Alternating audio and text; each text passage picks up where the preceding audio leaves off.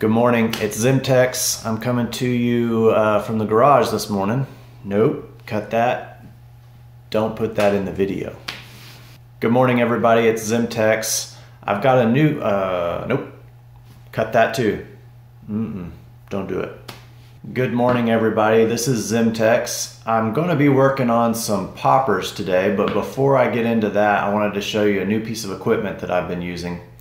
Uh, it's this new uh, mini lathe that I got from Harbor Freight, made by Central Machines, or Central Machinery.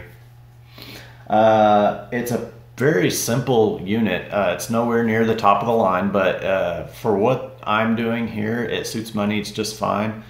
And the part number on that is 65345 if you're interested. Uh, it's an upgrade from the um, drill press that I've been using and uh, I've been using it for a little while now, and I like it. I think it uh, I think it makes my work a lot faster and more efficient, and probably safer. Um, along with that, I got some new chisels, and so I got these off of Amazon. Uh, it's just a fairly inexpensive eight-piece wood uh, chisel set. Now I don't use all eight. That's way too many for me. There's only a handful of them that I really use. Uh, of course, the parting tool. And uh, I use this one quite a bit. It's pretty handy actually uh, for dividing out uh, lines and getting to the right diameter and everything. You'll see that in the video. The other is one of these uh, gouges. I use the smaller one, uh, and I use that to remove most of the material. Uh, it actually is very efficient in cutting out a lot of stuff. And then I use this uh, large skew when I'm trying to smooth out my, my work and make a long straight line. This skew is great for that one of the things I really like about these tools, and, and it's not just this brand, any brand will do this, but I like these long handles. It makes a big difference in the amount of control you have over the uh, uh, tool. but anyway, back to the back to the lathe. Uh, one of the things about this lathe is that it can only handle an 18 inch piece of stock. So the wood I get um, from the hardware store is this 24 inch length. They also have a 36 inch length of poplar. And so obviously I got to cut that down a little bit to make it fit uh, into the lathe. What else is there to say about it? Oh, it's a it's a tabletop lathe, of course, and so it's got these rubber feet on the bottom, and those really help it stay in place. This does have a big motor on it, and so I can see where if it didn't have these rubber feet, it would probably vibrate off the table that you're working on. So that's nice. Now the main body of this thing's made out of cast iron, so it is very heavy, but I think that is mostly to help the unit stay put. Probably the best thing about this particular lathe is how simple it is to use. It's really, eh, it's really just flip a switch, turn it on, and you're ready to go. There's, there's not a lot to it. It's pretty simple. So let's get this thing set up and start making some lures.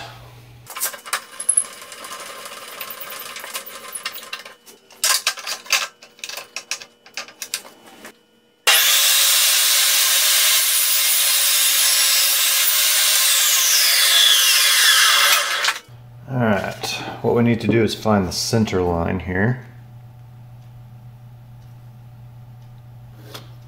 Easiest way to do that is to go from corner to corner. And then what we're going to do is take a punch here with a kind of a rounded end on it and indent that. We'll do that on both sides. And that helps us to align that inside the lathe better.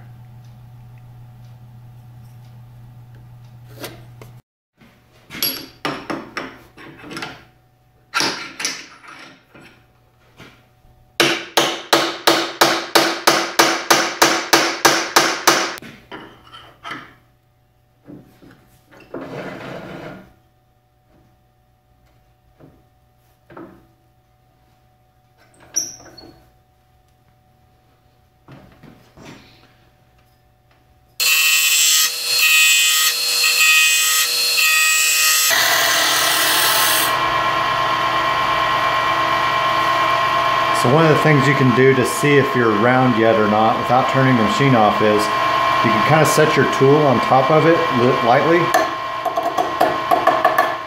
That's super square and it's bouncing because it is square. But if you set it on this other side, it doesn't bounce very much, which means it's getting very close to round. See?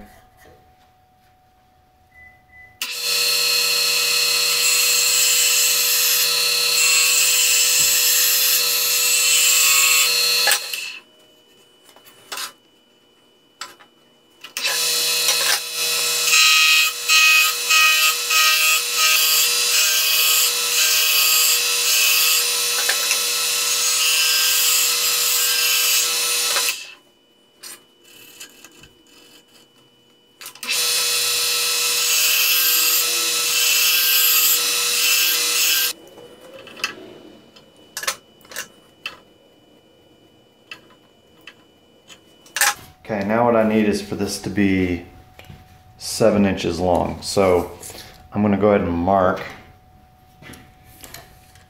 It's a eight inch piece of wood, so I need to take a half inch off of each side.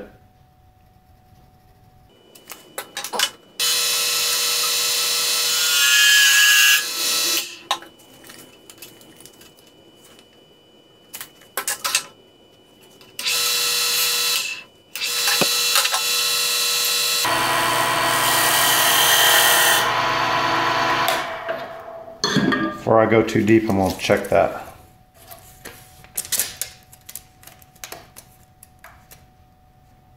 Perfect. Now part of what I do is I'm going to use this parting tool to get down to the to the depth that I want to be for this end of the lure.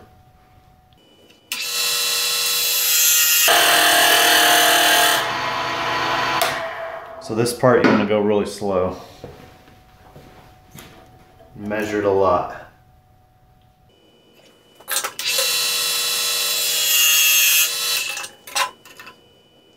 So this is going to be the mouth and this is going to be the tail. So I can gouge that down quite a bit uh, because it gets down to a pretty small taper. But I may do that incrementally because I want there to be a lot of wood here at this uh, end of the lathe so I don't snap it off while I'm carving.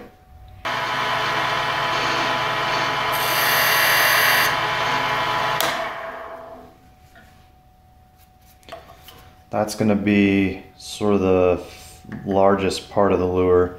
So the mouth will taper down to the mouth just a little bit and then it'll taper from here down to the tail. I'm gonna go ahead and gouge out a little bit more of that though.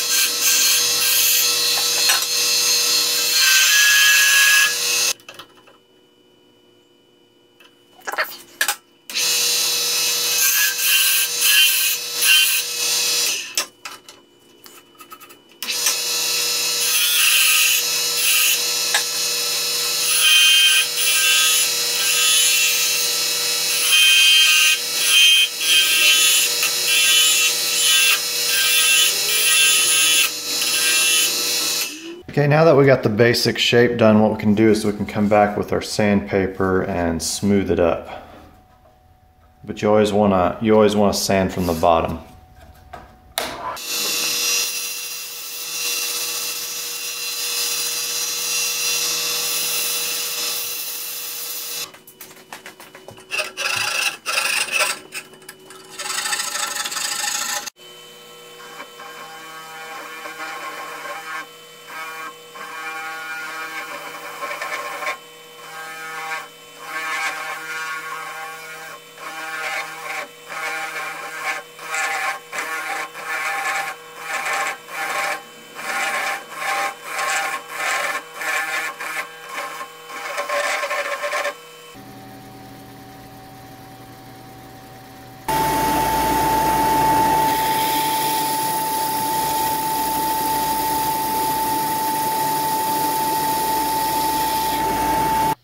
Cut the hardware slot, I always go against the grain uh, when I cut that slot because if you go with the grain, there's the potential for splitting.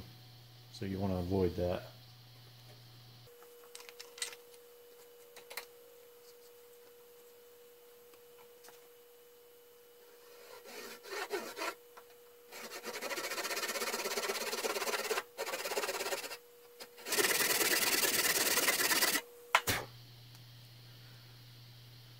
You can see here, I'm gonna cut a little bit past center so that I've got a little bit of adjustment room when I put my uh, hardware in. Flip my blade over. Make sure that I don't have like a high spot in the middle.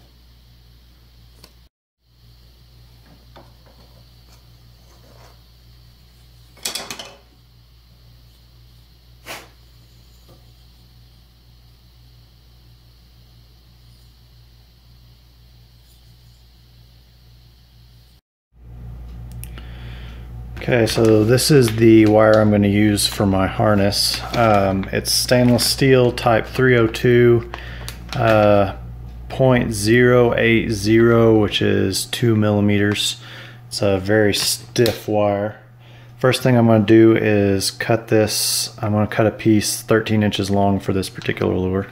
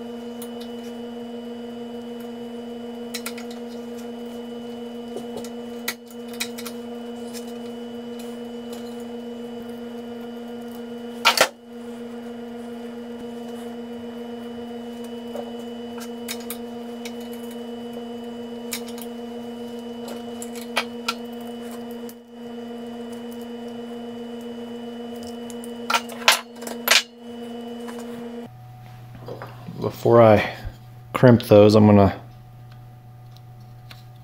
yeah, that's gonna work. I got enough length on each end. I'm gonna go ahead and crimp these uh, and this will be done.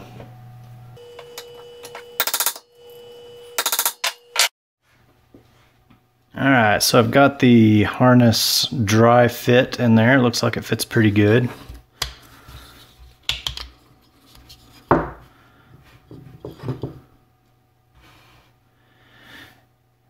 Anyway, um, I've started using these um, crimps, these double barrel crimps for uh, holding all of this together. Uh, before I used some of this really thin craft wire and what I would do is I'd just wrap it a whole bunch of times and then I'd super glue the whole thing. Uh, and that's pretty strong but I've recently switched to using these double barrel crimps for a couple of reasons. One is it's a little bit easier to work with um, from a standpoint of dry fitting and unfitting and, and all that stuff. Um, and I also think that these are going to be stronger in the end uh, than wrapping it in wire. Um, so I put one here in the middle as well because if you get a large load on it and you're pulling, that's going to want to spring open. And so the purpose of that crimp is to keep it from stretching uh, as much as possible because when it stretches, then it's going to stretch inside the lure and you could have a breakage potentially. Uh, and I'm just trying to head that off. Uh, what I'm going to do next is I'm going to use some of this 30 minute uh, epoxy and I'm gonna epoxy this into the wood. I could super glue it in, but I feel like the epoxy is um, a lot stronger. So uh, to embed the wire, let's epoxy it.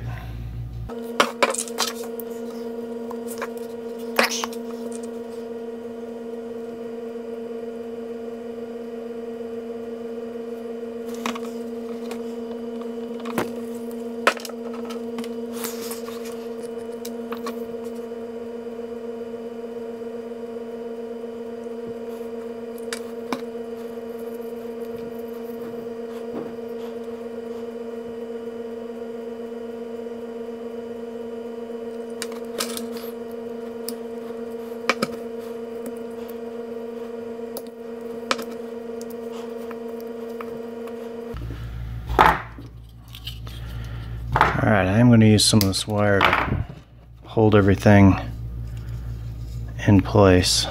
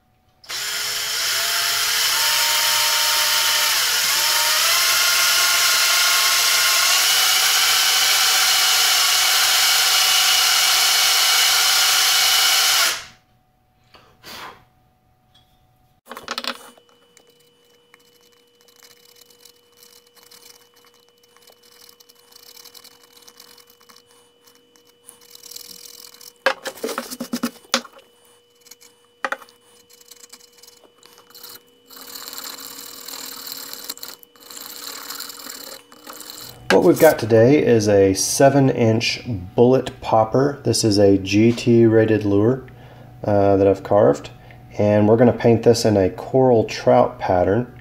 Uh, as you can see I've already uh, primed the lure and I've already got the opaque white all over it. I skipped past that part, you've seen me do it on previous episodes. So we're going to start from here and paint a coral trout. The foundation color that I'm going to use is going to be this orangish, lightish yellow color. And I've written down what I've got here. So it's uh, 10 parts opaque yellow, one part fluorescent orange, and two parts opaque white.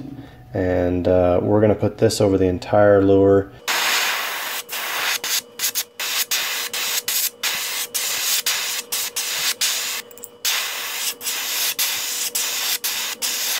I'm going to use this mesh uh, to do my scale pattern and I've actually sprayed this mesh on both sides a few times with uh, some of that primer because I feel like it gives you a, um, a better impression, a better screen than just brand new mesh. Brand new mesh kind of lets paint soak into it and it doesn't give you as sharp of a line.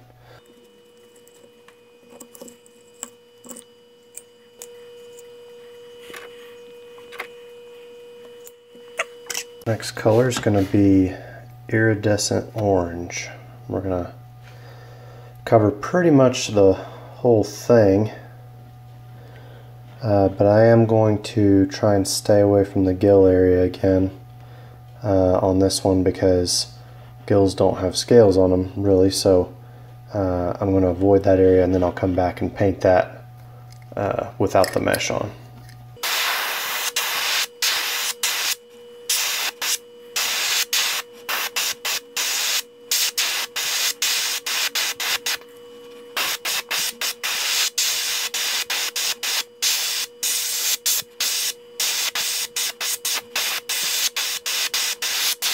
Next thing I'm going to do is I'm going to go over that with a little bit of transparent red, but I'm going to do it very finely and from about a mile away.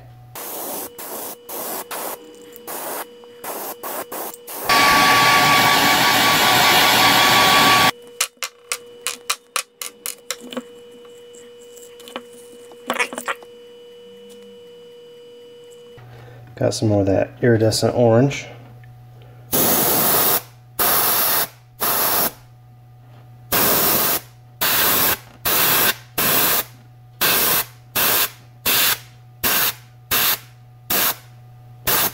I'm coming at the gills from this angle so that there's a little yellow reveal under there.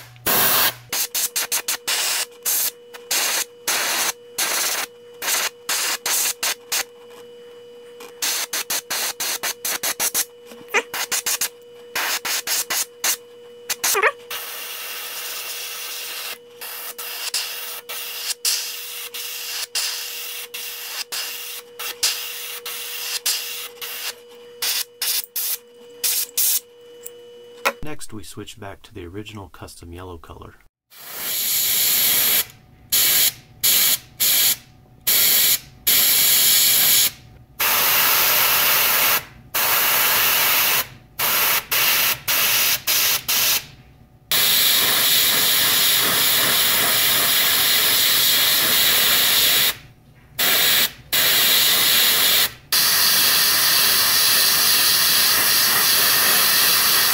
Alright, so I did finish getting that color put on and I apologize I did not capture a lot of that. Um, my airbrush was acting up terribly and I had to clean it twice and it was just kind of sputtering and not cooperating but I did get this color on. Uh, the next thing I'm going to do is I'm going to mist the whole thing with this iridescent orange then we'll put the eyes on but I feel like this will give it a little something just to not cover anything, but just give it a little mist.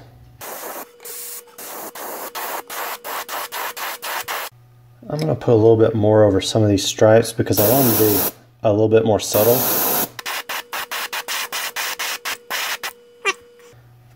Uh, except those on the face. I kind of like that. I kind of like how sharp those are. Maybe just a ever so slightly. There we go. That's the look I'm going for. So some of these coral trout have a, um, a little bit of a lighter color in them. Some are kind of solid. Some of them have these stripes in them. I think the stripes are going to make it look uh, a little bit more interesting. Uh, but what's really going to make this thing pop are the spots. Uh,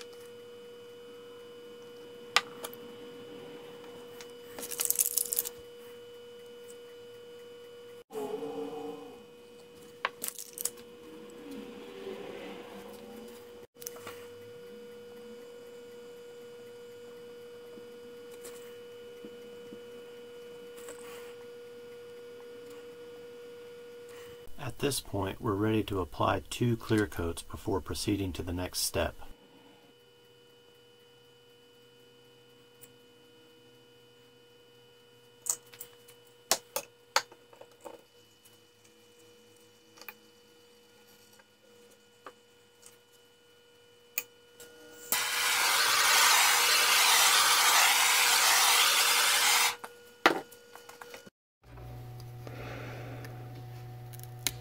For this next step, I'm going to want to cover the uh, eye that I've already epoxied. So what I've done is I've got an extra extra one out of that pack here. I'm just going to trace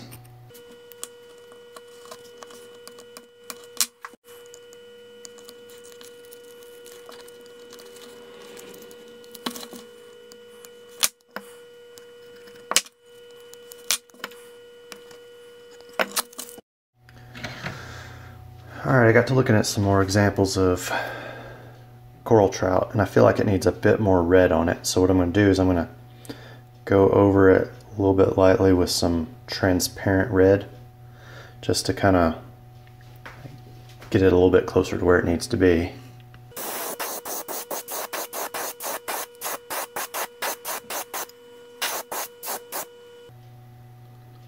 I think I'm going to leave the belly a little bit more on the orange side from the examples I've seen, I think that's the way it is.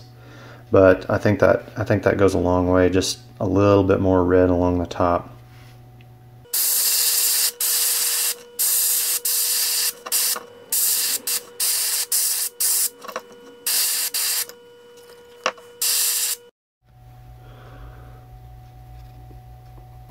Alright, now I want to try and get the right blue for my spots.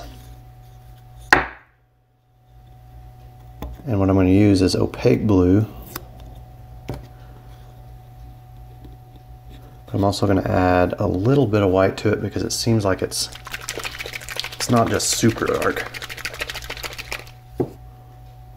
One, two, three, four, five. Let's try that and hopefully that doesn't lighten it too much.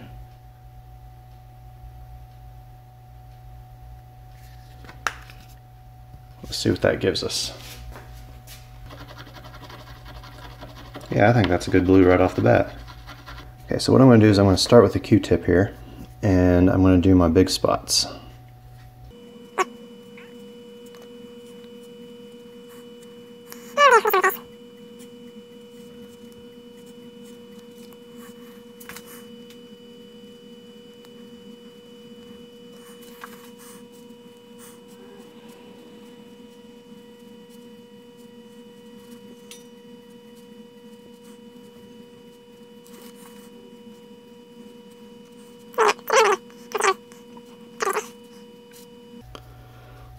A lot of times they have a little stripe kind of under their eye here.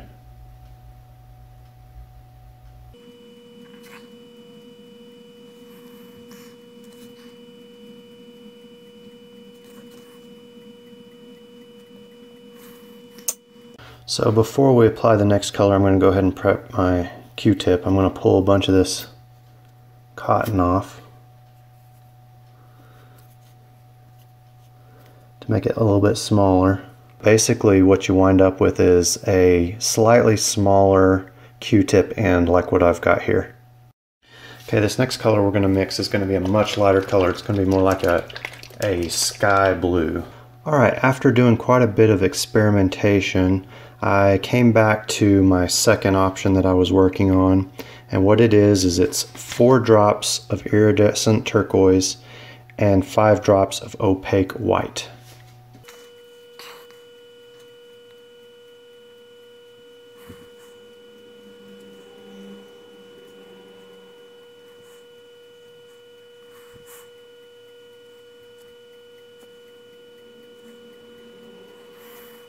The key to this is to apply just the right amount of pressure to get the size circle you want. And all you want to do is keep it inside the bigger circle. And it doesn't have to be perfect. If it's a little off or oblong or odd shape, that's fine.